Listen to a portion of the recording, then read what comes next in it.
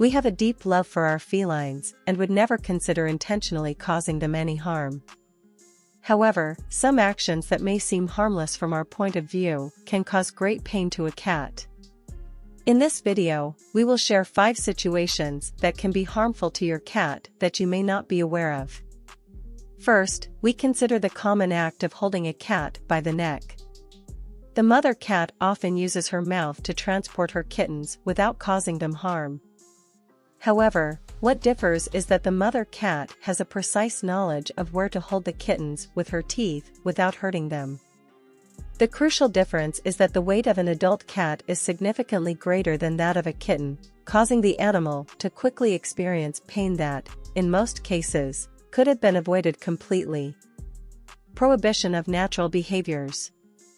The second point addresses the prohibition of natural behaviors. It is crucial to recognize that cats have the instinct to scratch, and anyone who owns a cat should be aware of this. Preventing them from scratching is contrary to their nature. Unless we provide suitable alternatives, cats will naturally sharpen their claws on sofas and other objects. To avoid unwanted damage, it is helpful to spray the affected area with a solution of water and citrus oil from time to time.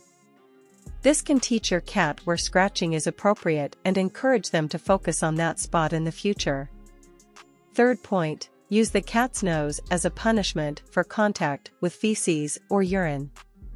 This training method is common among dog owners, but is also found in homes with cats. However, it is strictly prohibited with all pets. The impurity is not pleasant in cats and can indicate serious health problems. Disturbing during feeding background contexts emphatic rebuke number 4 felines have exceptionally sensitive hearing, picking up sounds far beyond our hearing range.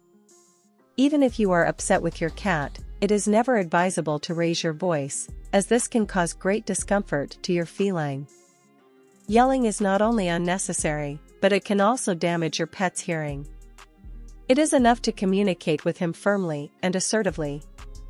And point 5 Disturbance during the meal To avoid behavioral problems, it is important that the cat always eats in a quiet environment.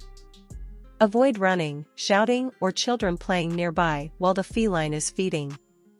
Otherwise, the cat may enter a state of alert, trying to simultaneously feed and escape, which is extremely stressful for the animal. If you liked this video, we would be very grateful for a thumbs up. Also, don't forget to subscribe to this channel to receive notifications about our upcoming videos in the future.